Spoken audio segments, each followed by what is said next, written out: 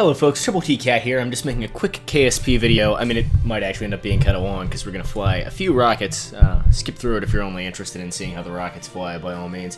Uh, just to demonstrate some stuff. People on the KSP forums having a lot of trouble designing economical rockets to do their missions, having problems with the new aerodynamics. So, uh, as you can see, I do have some mods on this game, version of the game. However, I promise, I absolutely promise the only mods I have installed are cosmetic and do not in any way affect the gameplay. You can see this is the newest version 1.0.2. So let's go ahead and load up our career save and demonstrate these rockets that that I have showed. And people have asked how, well, one guy asked, how do you even those rockets so small to do the things you say they do? Uh, I'll show you guys the difficulty setting, although the re-entry stuff is not a problem. Oh,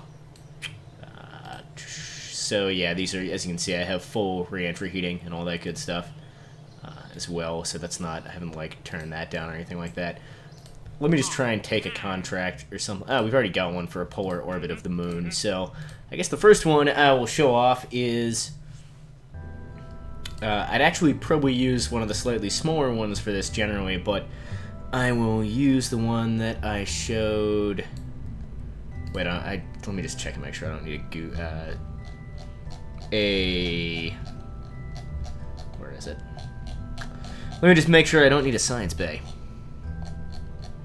Okay, don't need a science bay, don't need a goo, but the one that I showed on, the one that I posted a screenshot of was this one, the micro size G.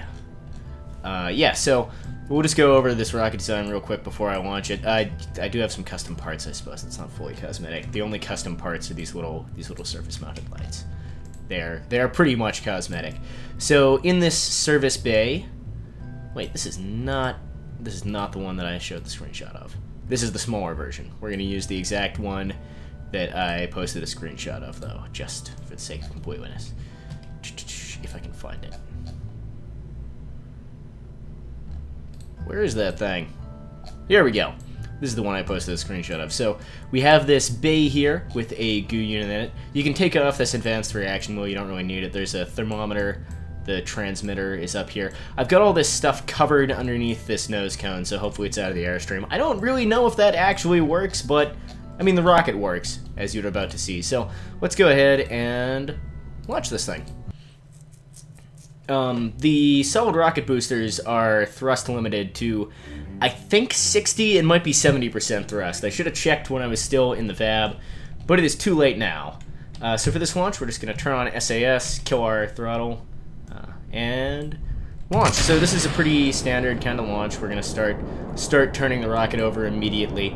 I just, I like to face these things towards the ocean when I'm in the VAB. I just rotate them in the VAB so that they're facing the right way, as it were, but of course you don't have to do that.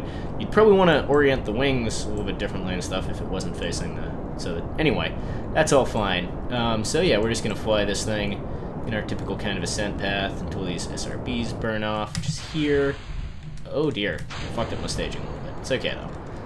And uh, light up this gimbal, this is the LVT-45 swivel, and start bringing our nose down just a little bit more now, just a little bit more. Uh, we want to be going at a 45 degree angle at about the 10,000 meter mark. So, let's see, let's get this. Not a whole lot to talk about here, I'm afraid. Oops, I'm turning a little bit more aggressively than I want to, probably. But uh, that's okay, that's not going to be a major problem for us. Um, yeah, so not a whole lot to talk about here. This is just a kind of a standard launch. If if you are only just now starting to play with the new aerodynamics, you might be thinking, why didn't he fly up straight until 10k and then turn 45 degrees? Um, that's because you can't do that with the new aerodynamics. You gotta start turning sooner and turn more gradually. People, of course, who've been playing the new version or used to play with FAR will already be familiar with doing it this way, so it's not, not hugely exciting, perhaps.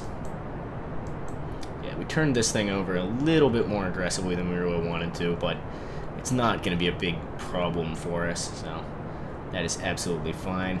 Actually, we could, it's, it's okay now. You'll notice I'm keeping my, uh, I'm just trying to sort of keep within, you know, being pretty close to the to the prograde marker in terms of the way that I'm pointing the rocket. Uh, trying to sort of pull the prograde mark since I like I was keeping it above the prograde marker there because I felt like I turned over a little bit more aggressively than I really wanted to, but we're sort of back on track to where I'd like to be now, so turn that back there.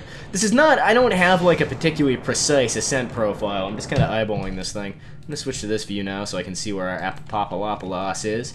Notice it's pretty low, but uh, we're just going to keep, we're just going to keep flying. Yeah, this part is not super exciting, but, uh, but it is happening.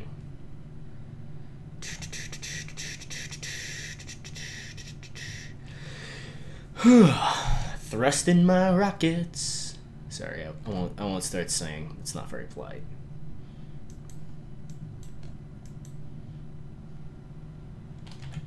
Uh, so, I mean, I'm making this specifically because there uh, of like a forum thread where people are having problems, but hopefully this will be helpful to, you know, anyone who's maybe new to KSP or anything like that. This is a rocket design that will get you into pretty much whatever orbit you might need for like a satellite contract inside Kerbin's sphere of influence, including, of course, Minmus and the Moon, etc., etc. Uh, I probably put one of these in interstellar space if I wanted to, but I don't. Anyway, we're going to push our Apopopolopolos up to about 100 kilometers. That's fine.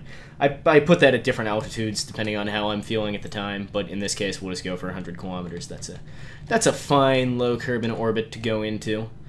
Uh, yeah, so you notice we don't actually have an enormous amount of fuel left on this thing, but uh, as you will soon see, it's going to be enough. It's going to be enough. Polar orbits, of course, a little bit tricky, um, fair bit of fuel, but I've got one of these things. I'm not, I can't remember if it was exactly this one, but it was a very similar design. If it wasn't exactly this one, uh, I've got one of these in a orbit of the moon where like I pushed it, you know, past polar. It's it's you know sort of going the opposite direction to the way I entered the moon's SOI. So I mean, I'm, I'm pretty confident this won't be an issue getting into just a just a regular old polar orbit of the moon. Push ourselves up to our Apopopolopolos here, just coasting up here, not burning our engines or anything like that, because we don't need to. Kill our warp, and uh, just gonna burn prograde here until we circularize our orbit, or maybe a little bit up. I try and keep my Apopopolopolos sort of on or just in front of my ship, so I'll point the nose up a little bit if the Apopolopolos go, Apolapis, I'll stop, I'll stop saying it the weird way, goes behind me or down a little bit if it's uh, in front of me. Yeah. Anyway, so we are now in a roughly circular orbit of Kerbin. Um, I could do this without maneuver nodes, but I'm not going to. There's no need for there's no need for it. I could just eyeball this. We're a little bit more eccentric than we want to be, although actually we happen to be... It's fine. It's fine. Uh, so we're going to want to burn maybe here, roughly. Just get ourselves some kind of moon encounter. Doesn't even matter if it's a particularly good encounter. Obviously, uh, well, let me just check what what Periapis we want. So, I mean, if we could get an encounter where we pass within, you know, 100 odd kilometers, that'd be ideal, but we don't really need to. Um, we won't be going very fast when we get to the moon, so we can always make adjustments once we get there. Let's just try and, like, that's a pretty high Periapis. We want to bring that down a little bit if we can.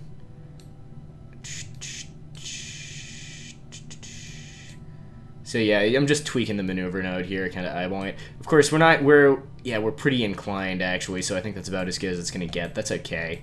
Um, I could do a plane correction before I go to the moon, but I feel like it's going to be better to just make my adjustments once I get there since I am able to get an encounter. And we won't we won't worry too much about that's fine. Like we could get we could knock a couple hundred kilometers off that, but that's going to be fine. Um, the fact that the fact that we're going to be arriving at such a high inclination is actually fortuitous. Um, it's Generally, you don't want to, well, unless we're inclined the wrong way, of course. We'll see when we get there. Generally, you don't want to come up into orbit uh, far off, being an equatorial orbit, but in this case, since we're going into a polar orbit of the moon anyway, it does kind of work for us. Just uh, speeding up time until we get around to our maneuver node. Oh, what a beautiful sunrise here in space. The final space.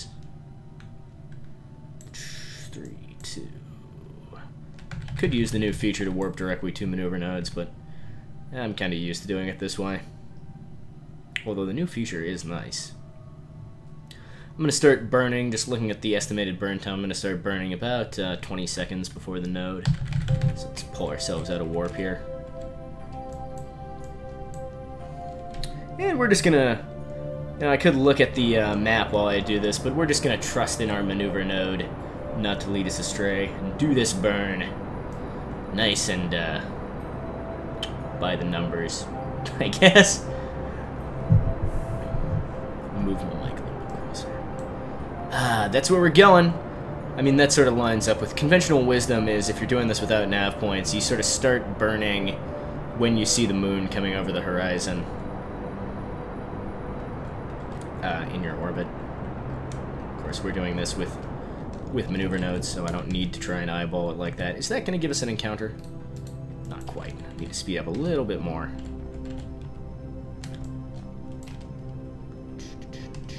There we go. That's good. That's fine. We're gonna we're gonna be coming in pretty far out from the moon, but that's fine. We got uh, what, 75 units of fuel left. Now that's not much, but this thing's really small. The thrust-to-weight ratio on this, particularly as you start to get low on fuel, gets quite high. Um, so we can actually do a lot of work with only a little bit of fuel. Alrighty, fly around to the moon here. And see, we've already got a bunch of these. I've renamed all these things, but these are all pretty much the same design as this. Some of them will have goo canisters, some of them don't. I think one of them has a science bay on it. The materials bay is a little bit heavier than goo canisters, so that was a little bit tricky, but it's still actually pretty light. It's not a big deal. You can use something like this as long as it's not a super, super bizarro orbit. Yeah, so we happen to be coming in here with some of the work of the plane change already done for us which is fortunate. But we'd be okay even if that wasn't the case. And I mean, it does mean we have a very, very far, we're very, very far away from the moon. But that's okay. We're going nice and slow. So just waiting until our periapus, flip around here. And what are, so we want to bring our, this down to about 100 kilometers. So we're just going to burn here. I love burning. A little bit more.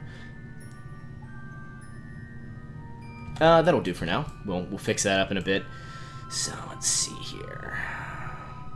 Alright, fly around to the Periapus, bring our Apopopolopolos down to approximately the correct height. Is this less than... What are we doing here? Oh, I should have left this a little bit further out because that's going to end up being our... Wait, which way are we... I just gotta focus up here for a second and make sure that I make the correct maneuvers, since making the wrong maneuvers is gonna really ruin my day. and we don't want that to happen while we're recording, although I'm not live streaming, as I sometimes am, so if I fuck this up, I can just, you know, stop the recording and try again, which is nice. But hopefully that won't happen to us. Okay. Burn down until this thing is roughly circular-ish. So as you can see, we can change we can change this orbit really super quick now because this thing's thrust weight ratio is getting really high. So we've used up about 25 units of our 75 remaining there. Which way are we going and which way do we need to be going? Let's fly around to the node here. Wait until the node. We're at the node and then I'll start trying to make this plane correction. We need to burn either normal or anti-normal. I'm not sure which. Let's find out. Uh, whichever one that is triangle with not the things sticking out of it is the way we want to burn, so that's right here. Okay, wait until we're right on top of that node. There we go. And just start doing this. Now, when you're doing this, make sure you track the sort of pink thing on the nav ball. I don't do this with maneuvers because you end up pushing the opposite side of your orbit way out of whack if you don't actually track this pink thing, and the maneuver node will not do that. Um, we're getting pretty close to being on the right orbit now. I'm going to wait until we get around to the ascending node to do the rest of the correction. And of course, when we get to the ascending node, we will need the opposite thingy. I think this is normal and the other one is anti-normal, but it's possible I've got that completely backwards. I don't actually know that much about orbital mechanics, just, just what I learned from KSP, and I guess what I need to know to fly these relatively simple missions. Here we are at the ascending node. Let's flip our craft around. We have plenty of electric charge and stuff, right? Yeah, of course we do. Alrighty. And finish up this burn.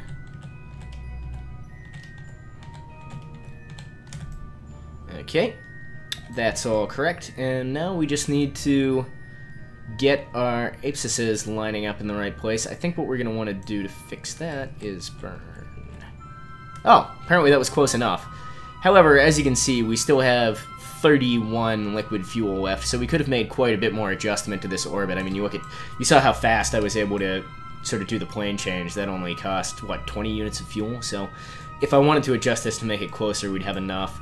Um, this thing is going back set. This is going the opposite direction, so I pushed this thing's plane way up over being polar and then back the other way. So like if I switch to this, I'm not going to fly the other craft that I showed on the forum in this video just to stop this video from becoming super long. Um, I may show them in later videos or if, if, people really want, but to keep this one video from being too long, I will not uh, include those being flown, but I will show you, so yeah, this is the exact same thing, but this is has less fuel left because it was a more eccentric orbit. But I will show you, I've got, um, just to prove that I can put those things up there, well, more or less prove anyway, I've got the upper stage of that Moonlander rocket I showed. I've got one of those landed on Minmus, so I will just show you, uh, I, I, um, actually, that one, that one I was not able to recover, uh, because Oh no, well, there's one that I wasn't able to recover. Merly's regret. I wasn't able to recover it because I accidentally blew the engines off when I landed, not because of any Delta V problems. Um, but here we go. This is where Valentina is landed on Minmus, on the, uh, and this thing has plenty of fuel to return. This thing actually is more than enough fuel to get back from Minmus. So this is the upper stage. I mean, if you look at the picture I posted on the forum thread, if you're one of the people from the forum thread, you'll recognize this as being uh, the upper stage. Like, it's slightly modified. This is from the new version. But I, I assure you, the launcher... There's actually less fuel on the launcher than there was in that screenshot because I found it was uh, more efficient if I carried a little bit less mass. Anyway, so there's that. The gray disk, I have not tested in 1.0.2, so I'm not 100% sure that can still do a Munar flyby. But what you'll notice about the gray disk is its construction very, very similar to the unmanned thing that I just showed you uh, going to an eccentric moon orbit with enough fuel left to return to Kerbin if I wanted it to. So it's not, it's probably, I would hope anyway, having seen that, not a stretch of the imagination at this point to believe that this can return from the moon, because, uh, you know, it's very, very similar to the thing that I just put up, which was this. Um, yeah, I mean, it's a very, very similar rocket design. This is, uh, I think, a little bit heavier, actually, because it's got... Oh, no, this would be a little bit lighter, but nonetheless, they're, they're pretty similar. Uh, anyway, that's the video, guys. I hope this showed you some things that will help you on your KSP journey. Until next time, Trouble T Cat out.